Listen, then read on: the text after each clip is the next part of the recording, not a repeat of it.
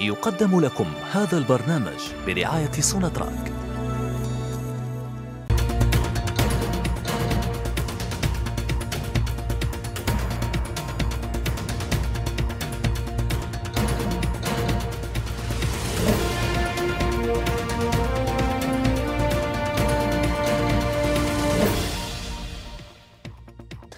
النشرة الاقتصادية من قناة الجزائر الدولية. أهلا بكم. أعلنت منظمة البلدان المصدرة للبترول أوبيك عن إطلاق مبادرة جديدة لدعم استقرار أسعار النفط وتوازن أسواق الطاقة عالمياً.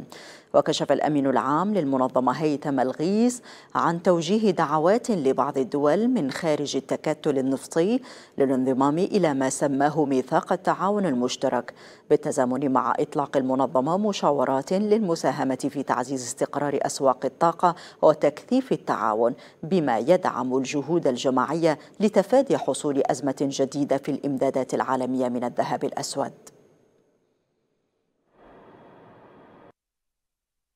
ميثاق التعاون المشترك يهدف إلى تسهيل عملية الحوار بين الدول المشاركة فيه والدول المنتجة والمستهلكة للنفط من أجل تعزيز استقرار أسواقه والتعاون في مجالات عدة منها التكنولوجيا بما يصب في مصلحة جميع أطراف صناعة النفط. الميثاق يؤكد على أهمية عدد من القضايا المحورية مثل تعزيز أمن الطاقة والقضاء على فقر الطاقة ودعم نمو الاقتصاد العالمي إضافة إلى قضايا البيئة والتغير المناخي. الدول المنتجة للنفط المشاركة في الميثاق تواصل التشاور وتبادل الآراء فيما يخص تطورات أسواق النفط العالمية بانتظام لبحث أفضل السبل لتحقيق هدف اتفاقية ميثاق إعلان التعاون المشترك الأهم وهو استقرار الأسواق. وعند تطرقه إلى اتفاق خفض الإنتاج الطوعي الذي أعلنت عنه بعض الدول بعض الدول المنضوية تحت لواء تحالف أوبيك بلس أكد الغيث الالتزام التام للدول بالاتفاق الساري المفعول إلى نهاية العام الجاري.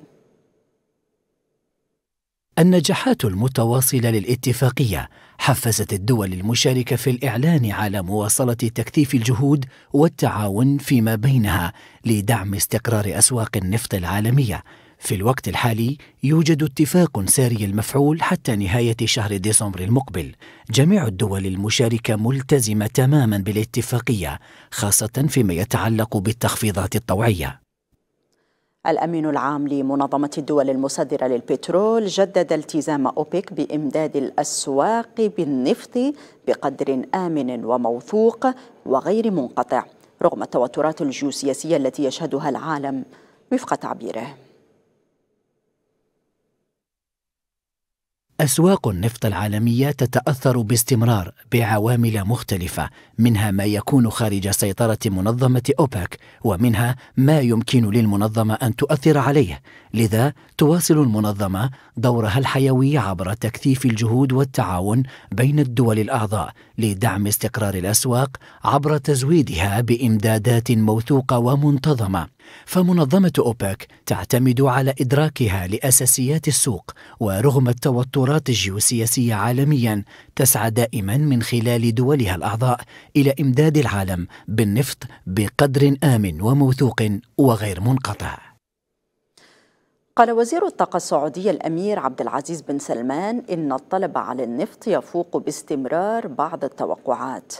وأضاف الوزير في كلمته بالمؤتمر الدولي لتكنولوجيا البترول اليوم الاثنين أن مهمتهم في أوبك أن يكونوا منتبهين لأي تحركات في السوق ومستعدون للزيادة أو النقصان في أي وقت مهما كانت مقتضيات السوق. إن مهمتنا في أوبك أن نكون منتبهين لأي تحركات في السوق. ومستعدون للزيادة أو النقصان في أي وقت مهما كانت مقتضيات السوق. تراجعت أسعار النفط في تعاملات الاثنين مرفقة بمخاوف اضطراب الإمداد بفعل اتساع المخاطر الجيوسياسية في الشرق الأوسط وانخفضت العقود الآجلة لخام برنت ب 43 سنتا إلى 81 دولارا للبرميل بعد ارتفاعه ب 6.3% الأسبوع الماضي وتراجعت العقود الآجلة لخام غرب تكساس الوسيط ب 46 سنتا إلى 76 دولارا. وزادت شركات الطاقة الأمريكية عدد منصات النفط والغاز الطبيعي إلى أعلى مستوياتها منذ منتصف ديسمبر مما قد يؤدي إلى زيادة في الإنتاج.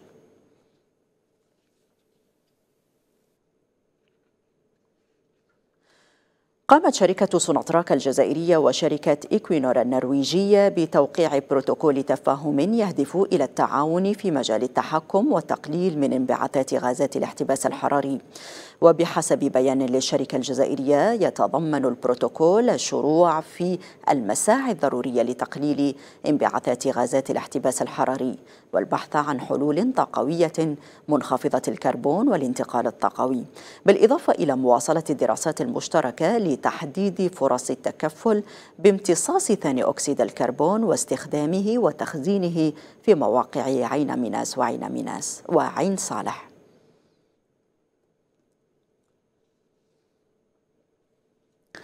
ناقشت الجزائر إمكانيات أو إمكانيات التعاون مع البنك الدولي سيما فيما يتعلق بتبادل الخبرات والمساعدات في المشاريع الطاقوية كمجال تطوير الطاقات المتجددة وجهود البلاد في التقليل من انبعاثات الاحتباس الحراري. وعرض وزير الطاقة الجزائري محمد عرقاب على وفد من البنك الدولي حزمة من المحاور الرئيسية لبرنامج تطوير الأطر التنظيمية المستحدثة التي تنظم الأنشطة المحروقات والمناجم.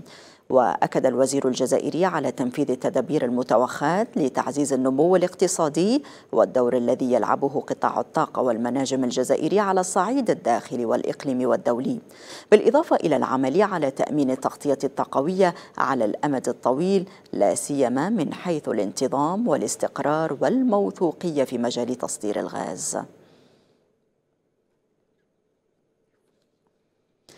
تجري شركتا Diamondback Energy و Endeavor Energy مناقشات نهائية للتوصل إلى صفقة من شأنها. إنشاء شركة عملاقة تبلغ قيمتها أكثر من 50 مليار دولار. وتبلغ قيمة Endeavor التي تم الاحتفاظ بها 25 25 مليار دولار في صفقة الأسهم والنقد فيما تبلغ القيمة السوقية لشركة Diamondback Energy 27.2 مليار دولار. وتتخذ كلا الشركتين من ولاية تكساس الأمريكية مقرا لهما فيما تعد الولايات المتحدة أكبر منتج للنفط في العالم.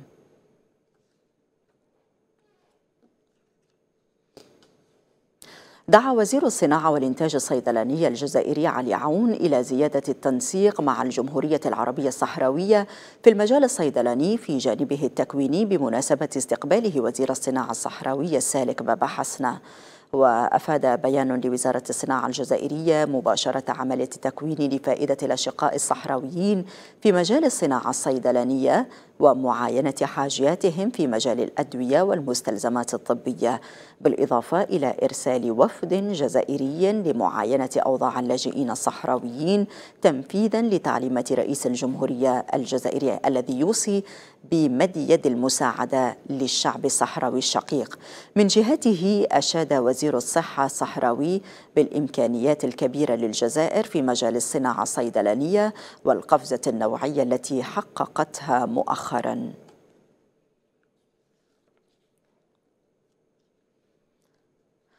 وقع وزير الصناعة والمعادن الليبي أحمد أبو هيسة مع المدير العام لمنظمة العربية للتنمية الصناعية والتقييس والتعدين عادل صقر مذكرة تفاهم للتعاون المشترك بين الوزارة والمنظمة. وأكد الوزير الليبي على أهمية تفعيل وتعزيز التعاون بين الوزارة والجهات والشركات التابعة لها والمنظمة وكيفية تحقيق الاستفادة من برامج وخدمات المنظمة العربية في مجالات التنمية الصناعية والتعدين والتقييس. ومن جهته أبدى عادل صقر استعداد المنظمة عبر خططها وبرامج عملها لتقديم الدعم وتعزيز برامج التعاون الفني مع الوزارة والجهات التابعة لها.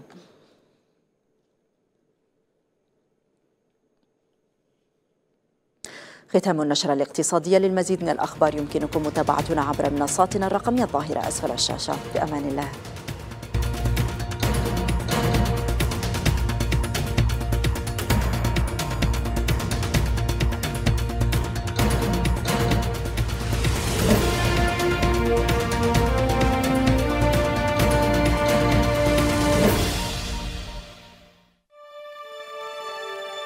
قدم لكم هذا البرنامج برعاية سوناتراك.